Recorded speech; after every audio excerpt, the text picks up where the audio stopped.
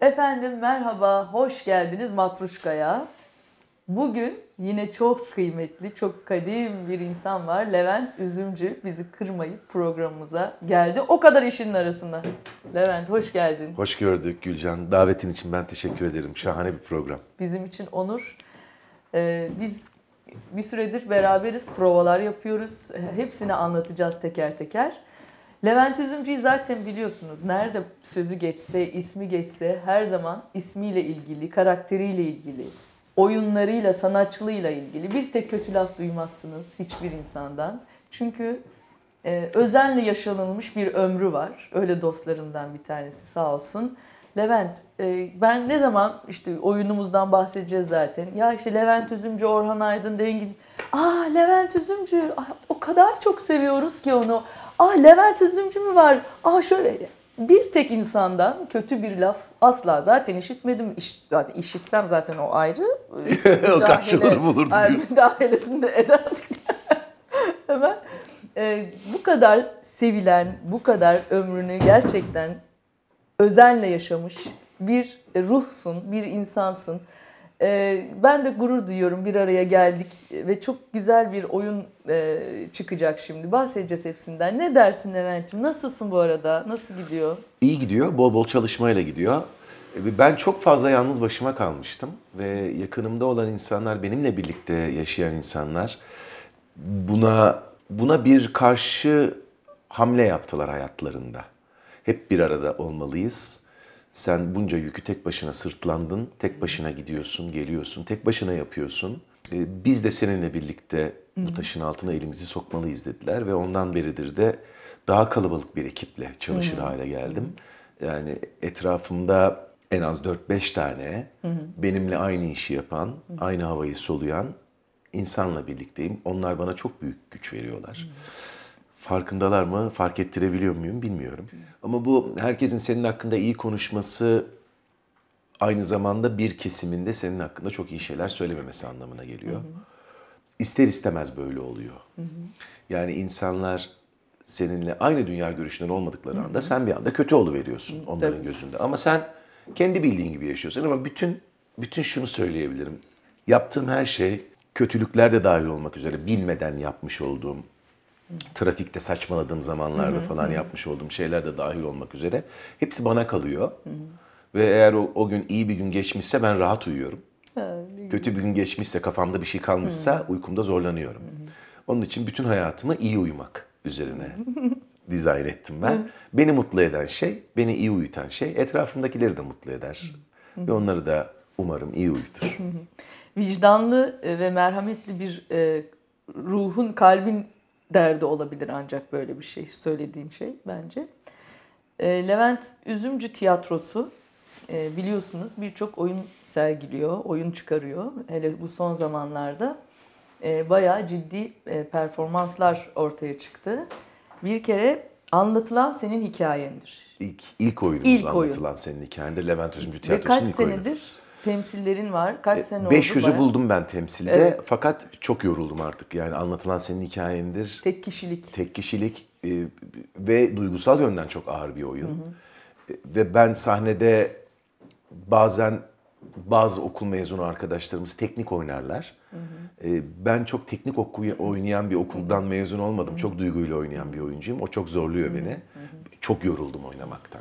Aynı oyunu oynamaktan, 500 kere oynamaktan. Beni beni en çok oraya kadar götüren şey galiba seyircinin teveccühü oldu. Nereye gitsem kapıları bacaları yıktılar. Nereye gitsem, nerede engellensem hop bir çıkış yolu bulup orada gelip oyunu izliyorlar. Var olsunlar. Bence de. Bence çok yaşasınlar.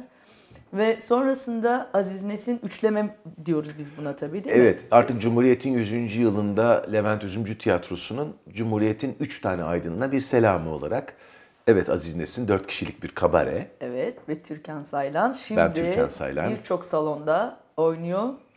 Ee, tabii ki bir sürü engellemelere rağmen onlardan da bahsedeceğiz. Ee, ve daha henüz henüz böyle bebek doğacak o da Uğur Mumcu anısına yaptığımız Unutma bizi. Unutma Bizi e, oyunu çıkıyor yakında. Biz tekrar provalara e, tekrar giriyoruz çünkü bir Bu arada önce- kadroyu sayarsan Evet, daha anlaşılır saymaz olacaktır galiba. Şimdi tekrar programa zaten uygun olurlarsa tekrar gelecekler. Levent Üzümcü, Orhan Aydın, Dengin Ceyhan kıymetlimiz. Bir de bendeniz efendim. Dört kişilik. Ee, içerisinde müziğin, şarkıların olduğu çok özel bir senaryo. Cengiz Toraman'ın senaryosu. Ee, müthiş bir oyun geliyor. Bizi yalnız bırakmayın çünkü çok engellenecek biliyorsunuz. Ee, yine önümüzde hep büyük kayalar oluşuyor her işimizde. Biz onların üstünden atlayarak sizlere ulaşabiliyoruz ancak o da sizin desteğinizle, bizi onurlandırmanızla daha da e, çok insana ulaşmasını da istiyoruz tabii ki. Böyle bir şey. Ve Levent Üzümcü her zaman direnen, boyunu eğmeyen tabii ki aydın, aydın bir kişilik. Bunu seçmiş olması mesela, böyle bir hayatı seçmiş olması. Çünkü biliyorsunuz piyasada e, bizim sektörlerde hem oyunculuk sektöründe hem işte müzik sektöründe çok rahat geçinen, çok mutlu olan, böyle oradan oraya kanat takıp uçan birçok meslektaşımız var. Ama biz bunu seçmedik. Levent Üzümcü de böyle bir şeyi seçmedi. Çünkü neden seçmedi? Çünkü ben öyle planlı programlı yaşayan biri değilim. Yani ben neysem onu yaşıyorum hayatta. Eğer insanlar orada gelip benimle bir arada oluyorlarsa, omuz omuza duruyorlarsa benimle, benimle aynı fikirdelerdir, benimle aynı dünyaya inanıyorlardır. Ama ben dur ben şuradan gideyim de oradan gidersem şöyle olur da Evet. böyle olur da diye hiçbir zaman hesaplı davranmadım. Neye inanıyorsam öyle yaşadım. Diğer meslektaşlarımızın durumuna gelirsek e, dışarıya çıkmış olmak, mesleğin dışında kalmış olmak, yapılan işlerin e, ne kadar ne derece tatmin etmeyici olduğunu görmek biraz işime geldi diyebilirim. Yaklaşık 10 yıldan beri piyasanın uzağındayım. Çeşitli nedenlerden değil, tek bir nedenden ötürü. Piyasanın dışındayım. İşte seninle oturup aynı masada esip gürleyen, seninle aynı dünyaya inandığını iddia eden yapımcılarla da, oyuncularla da çok tanıştım.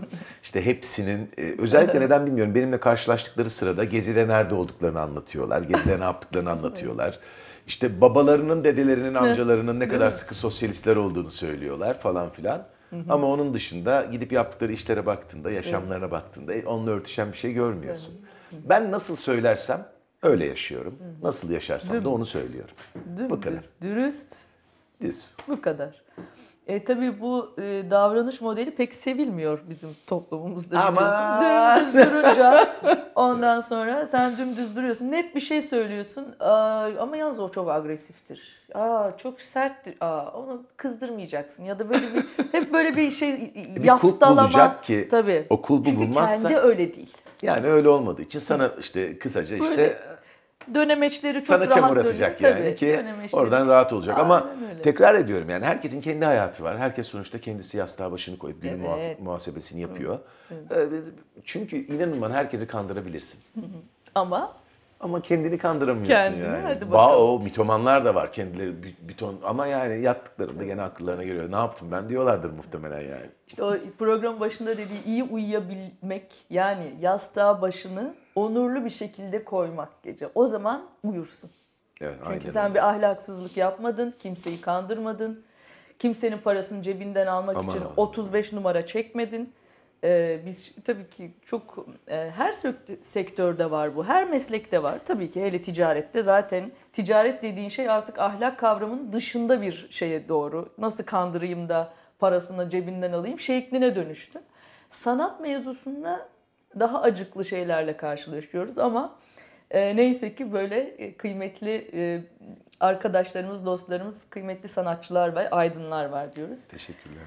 Şimdi bizim e, bu sahne e, mevzularımızda özellikle tabii bizim sahnede daha biraz daha rahatız. Biz şarkı söylediğimiz için, müzik yaptığımız için bir şekilde başımıza bir iş geldiğinde öksürüğünden tut işte bir gülme krizi vesaire geldiğinde biz bir şekilde denk getiriyoruz. Ama düşünsenize bir oyunda oyuncunun başına bir şey geliyor, repliği unuttu.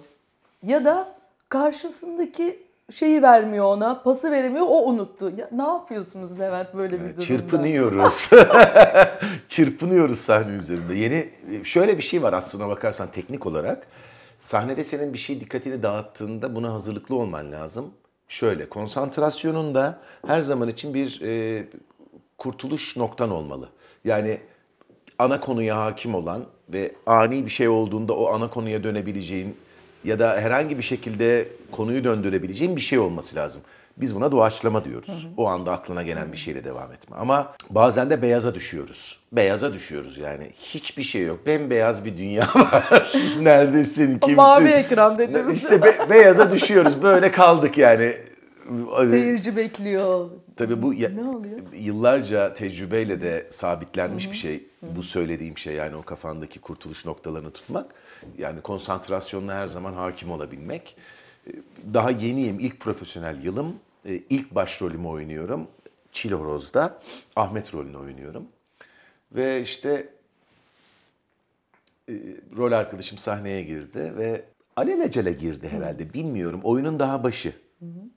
Ben işte portale oturmuşum elimde bir tane kaval var onu çalmaya çalışıyorum. Oyuyorum moyuyorum bir yerlerini. Kaval yapıyorum yani kendimce düdük. E, rol arkadaşım geldi bana böyle bir çapkın bir bakış atması gerekiyor. Sonra sırtını döndü. Tek parça elbisesinin sırt fermuarı beline kadar açık.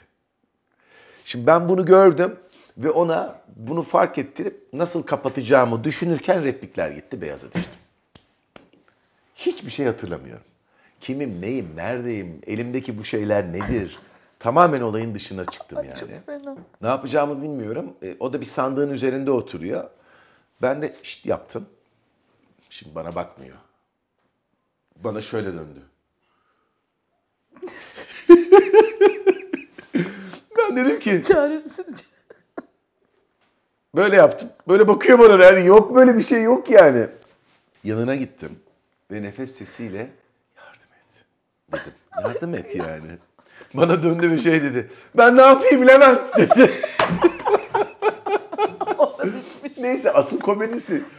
Sonra ben bir anda kendimi kondivit durumu fark etti ve oradan horoz sesini verdi. Horoz sesini verince arkada ordular hareket etti. Çünkü 7-8 sayfa mı ne atlandı. Millet antresine koşturuyor. Dabuda dabuda arkası koşturmaya başladı. İnsanları tabii en sessiz halleriyle gidip yerlerini alacakları yer falan filan. Mi- Millet içeriye giren herkes şey yani böyle falan diye giriyor yani korkunç bir durum oldu. Ee, ardından aradan yıllar geçti. Bir yıl bir şey falan.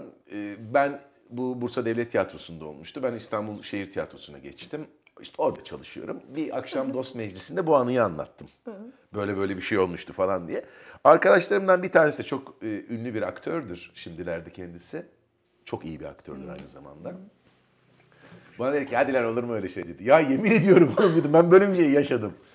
Yıllar sonra bunu unutmamış. Ve onlar çocuk oyunu festivaline gittiler Bursa'ya. Arap Şükrü'de içiyorlar. Bursa Devlet Tiyatrosu'nda bir takım arkadaşlar gelmiş. Bu olayı yaşadığımız arkadaş bu olayı bu arkadaşıma anlatmış. Arkadaşım telefon açtı. Oğlum doğruymuş diyor. Oğlum doğru diyorum yani. o kadar inanamamış ki böyle bir şeyin olacağına sahne üzerinde.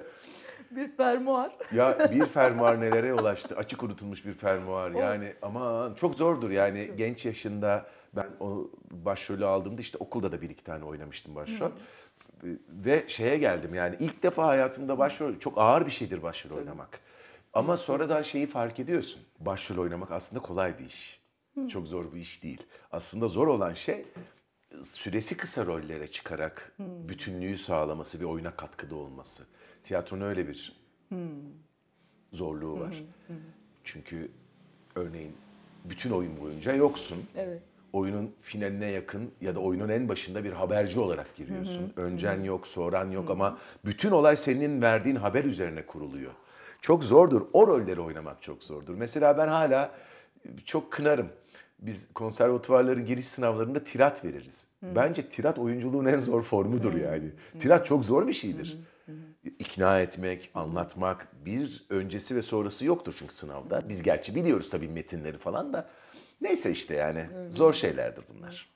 Ama işte böyle usta oyuncu oluyorsun sonuçta. Vallahi öyle oluyorsun. Bu u- Oynaman lazım Tabii yani. ki. Öyle oynamadan kimse usta oyuncu olamıyor. ya ben unuttum arkadaşlar kusura bakmayın de perdenin arkasına giremiyorsun tabii. o da oldu. Bizim o demin bahsettiğin şey timpanici vardır orkestralarda hani son şeyi vurur ve orkestra biter ya. Evet. Hani onun gibi o ulak gelir haberi Evet. verir gider diyorsun ya. O mesela orada yanlış bir yere vurduğu anda bütün eser çöpe gider.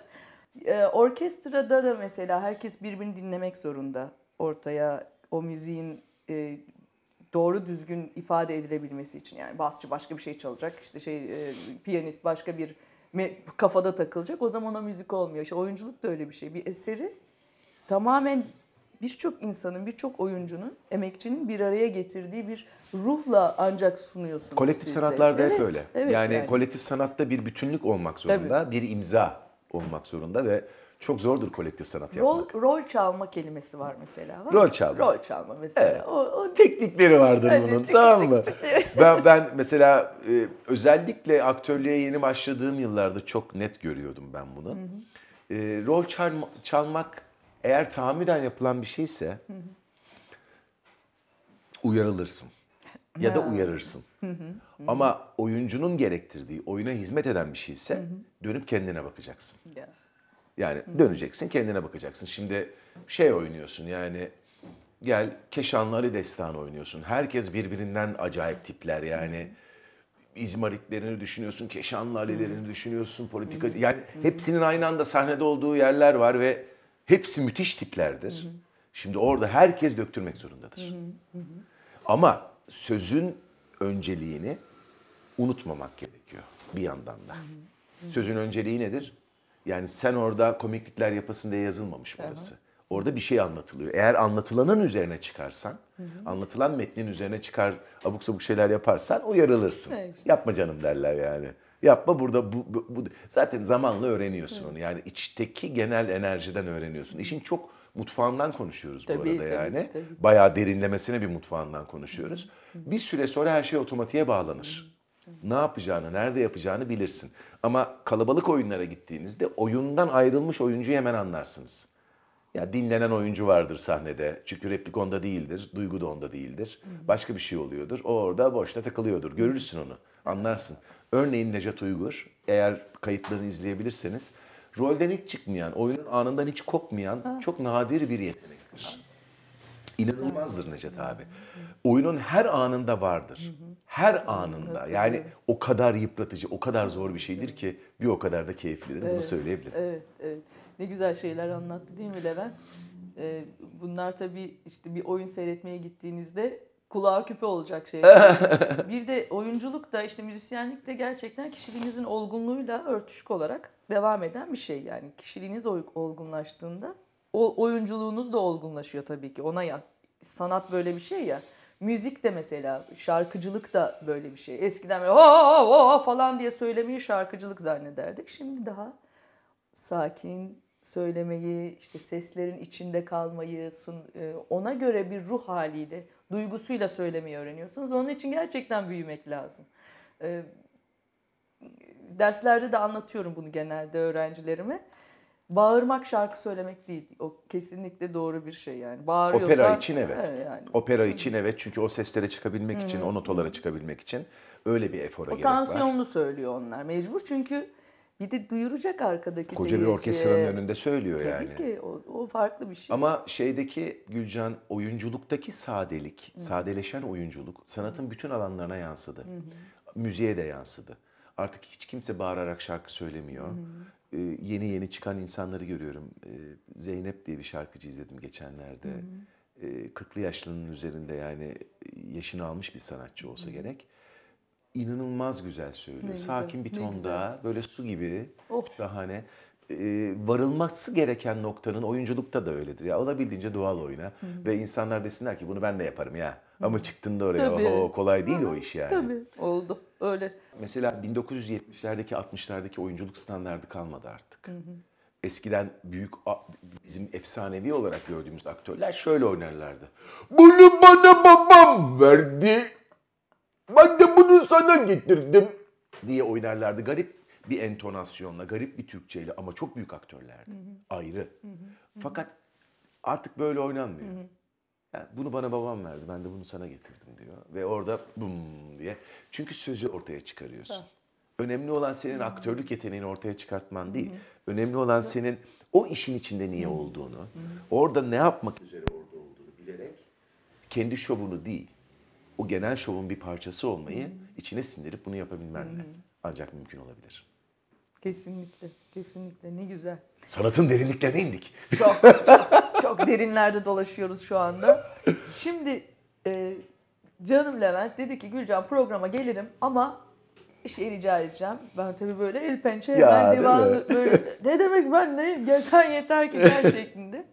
Bu arada yani programımız gerçekten çok kıymetli. Hani ben nazik ve, ve kibar bir insan olduğum için çok böyle eğilerek davet ediyorum bütün konuklarımı. Hani zannetmeyin ki kimse programa gelmek istemiyor da ben yalvarıyorum. Yok yok Öyle şey yalvarma yok. da yok zaten. Canım, Sağ gelir misin olsunlar. var. Tabii ki e, nezaketen tabii ki söylerim. Ne demek söyleyebilsem keşke diye. Bir şarkı önerdi. Ben de çok yıllar önce filmi seyrettiğimde zaten şarkıyı hatırladım. Gülcan dedi bu şarkıyı niye söylemiyorsun? Bak bu şarkı tam senlik senin repertuarına çok uygun. E, biz bu şarkıyı özellikle Levent için çıkardık. Yani e, kaç haftadır çalışıyorum. Sağ olsun bugüne de denk geldi seslendirmek. İlk defa onun için seslendireceğiz. Bu şarkı e, Levent biraz da anlatabilir. E, çok sevdiği bir şarkı. Manamu Elias. Evet. Yunan ana ya da işte Yunanistan Annemin, anne. evet, annemin Annem Yunanistan Yunanistan. gibi. Ee, bu işte rebetlerin aslında öyküsü. Ee, İzmirliler, hepsi İzmirliler. Hepimizden çok İzmirliler. Ben de İzmirliyim ama ben İzmir'de doğan ilk jenerasyonum. Babam Ayvalıklı, annem Çeşmeli. Ee, Ilıcalı. Yani oradaki insanların yaşamış olduğu şey yerinden yurdundan edilmek, toprağından edilmek. Hristiyanlarla Müslümanların Ege'nin iki tarafında yaşamış oldukları bir korkunç zamandır bu. Nasıl ki benim babamlar gavur tohumu diye Girit'ten geldikleri için Ayvalık'ın sokaklarında taşlandıkları zaman neler hissettilerse aynını buradan gönderilen rebetler de hissettiler. Hristiyanlar. Çünkü kültürümüz ortak. Yani bu Anadolu'nun, Batı Anadolu'nun, Marmara'nın kültürü tamamıyla Ege kültürüdür. Yani Trakya'da işte bazı e, daha Balkan kültürlü yerler vardır ama bakıldığında Ege kültürüdür. Edirne'nin denize, Ege denizine kıyısı olduğunu kaç kişi bilir?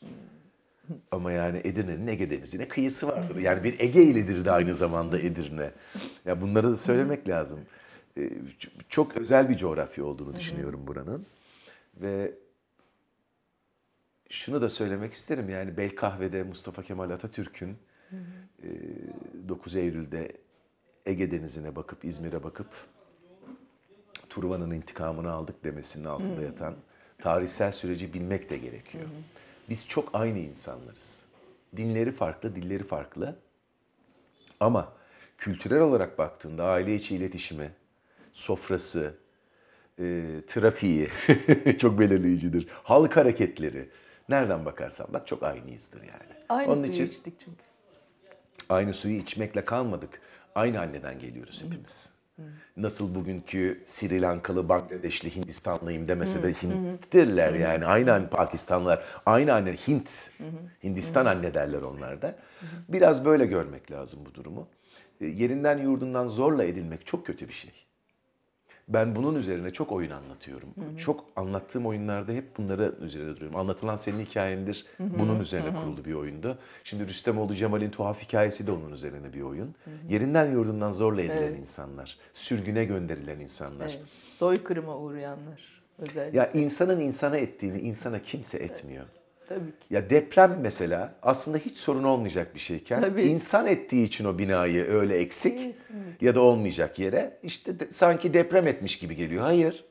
Tabii. Deprem dediğin İnsan tarih kadar eski. Evet. insanlıktan Bir da çok eski. olayı yani. Doğa olayı yani. Sen ona göre yaparsan gelişimini ona göre olur gelişimin. sen ona inat yapıyorsun. Ona inat yapıyorsun. Bir de depremle öyle inat minat olmaz işte. Bir sallar gidersin. Tabii ki.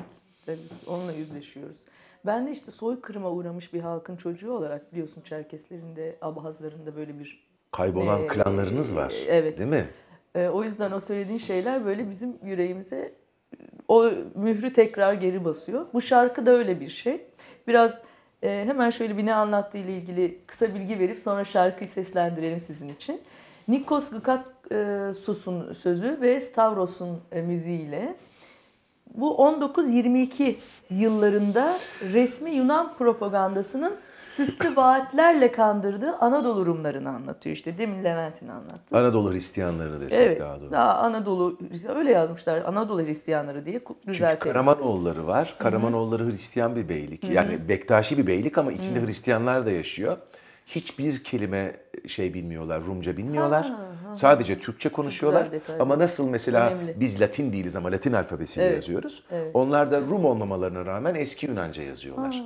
Karamanoğullarında hala e, mezar taşlarını okuduğunda Yunanca yazılmış Türkçedir.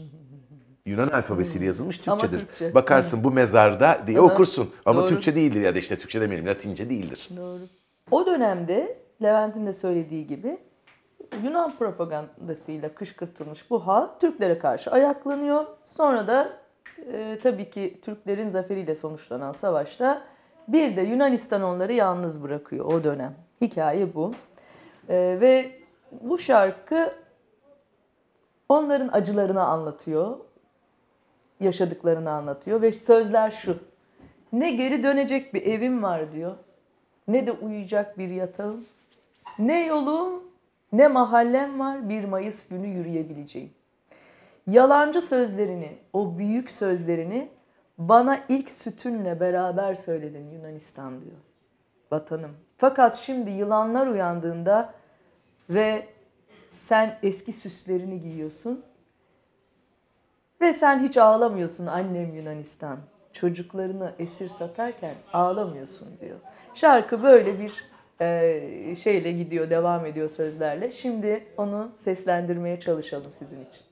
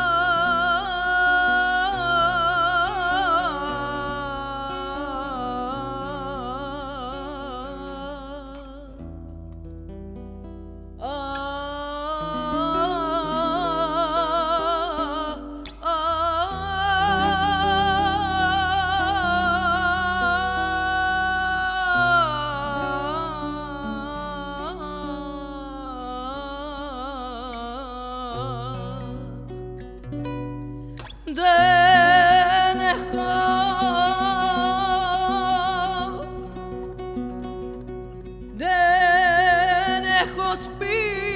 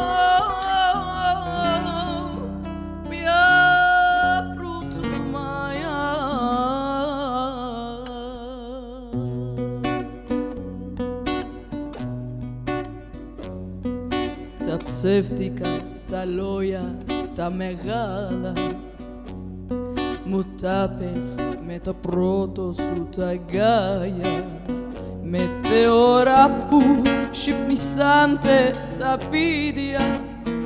Εσύ φοράς τα αρκαία σου στολίδια Και δεν τα χρήζεις πότε σου μάνα μου έας Που τα παιδιά σου σκλάβους εσύ πουλάς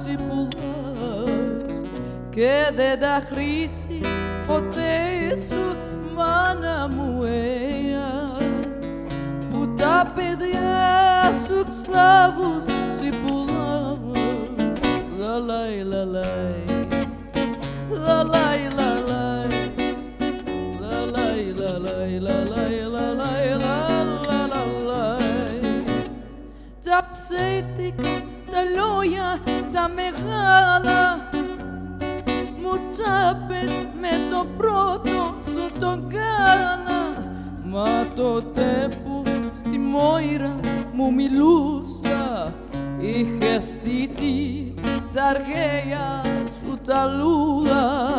Και στο παζάρι με πήρες κι φτύσα μαΐ μου Ελλάδα, Ελλάδα, μάνα του καημού και στο παζάρι με πήρες σκύφτησα μαΐ μου Ελάτα, ελάτα, μάνα του καημού. Τραλαϊ, λαλαϊ, τραλαϊ, λαλαϊ Τραλαϊ, λαλαϊ, λαλαϊ, λαλαϊ, λαλαϊ, λαλαϊ Τα ψεύτικα, τα λόγια, τα μεγάλα μου τα πες με το πρώτο σου το γάλα. Μα τώρα που η φώτια φουντώνει πάλι Εσύ κοιτάς αρκέα σου τα κάλλη Και στις αρένας του κόσμου μάνα μου έας το ίδιο ψέμα πάντα κουβαλάς και στις αρένας του κόσμου μάνα μου έλας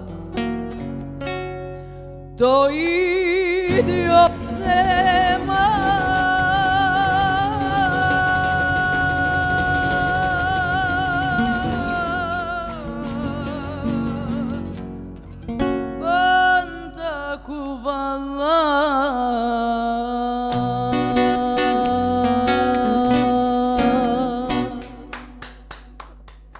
Zaman Levent araya hemen bir şarkı daha sokayım. Hatta sona doğru geliyoruz programın sonuna doğru.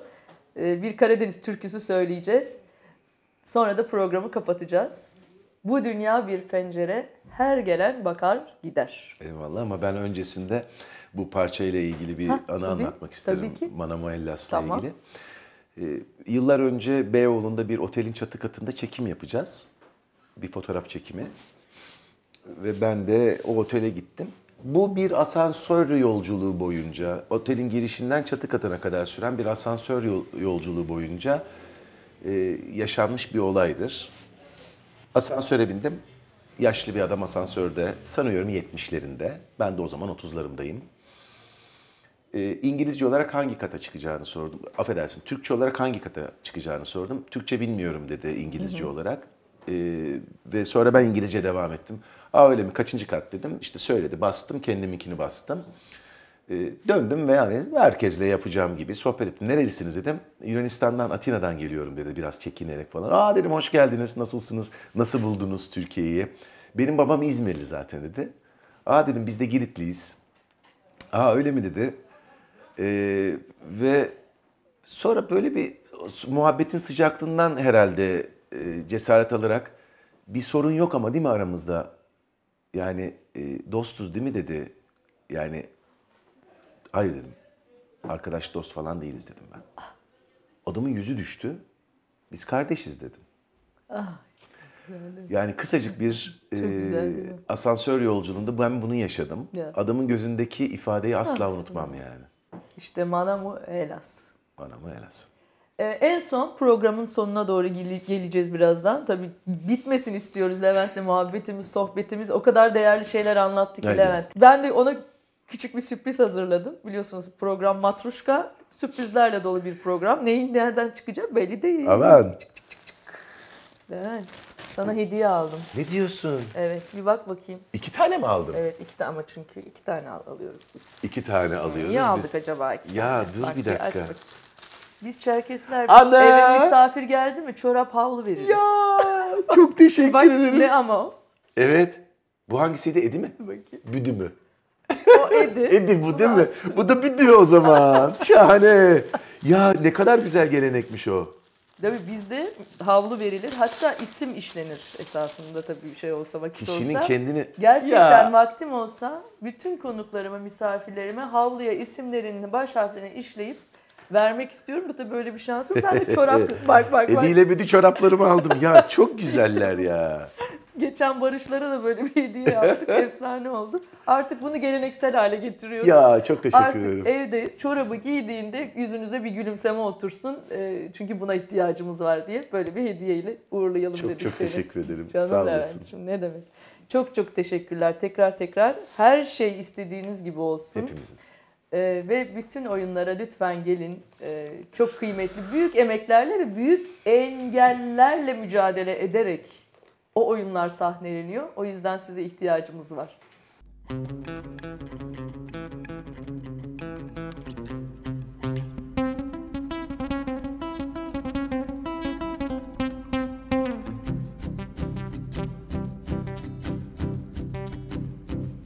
Dereler akar gider, dereler akar gider Taşları yıkar gider, ey güzel Taşları yıkar gider.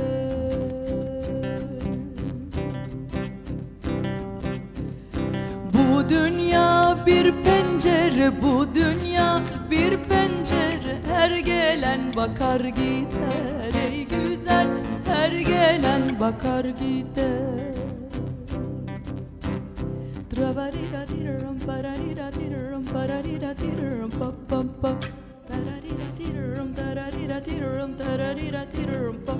Pam.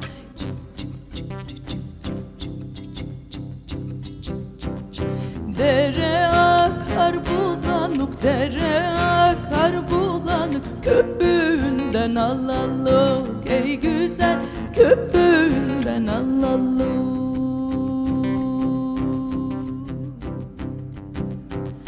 Ha bu ışıklı dünya, ha bu ışıklı dünya Oldu bize karanlık ey güzel Oldu bize karanlık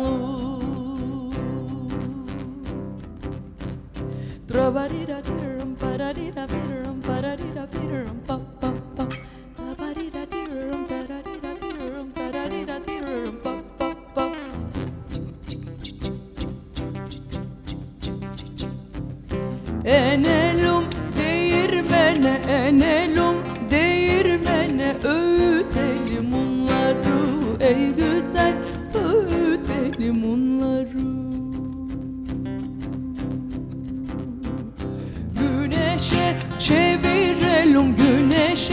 çevirelim Bu karanlık günleri ey güzel Bu karanlık günleri en sevdiğim yeri burası bu türkünün değil mi Levent? En güzel yeri. Güneşe çevirelim bu karanlık günleri. Şimdi finale doğru giderken lütfen siz de bize eşlik edin. Çünkü buna ihtiyacımız var. Levent Üzümcü biriciğimiz kıymet verip bizi yalnız bırakmadı. O kadar işin arasında geldi. Çok teşekkür ediyoruz. Ve en önemli cümleyi beraber söylüyoruz. Finale gidiyoruz. Sağ olun, var olun. Görüşmek üzere. Güneşe çevirelim, güneşe çevirelim bu karanlık günleri. Ey güzel bu karanlık günleri. Güneşe çevirelim, güneşe çevirelim bu karanlık günleri. Ey güzel bu karanlık günleri.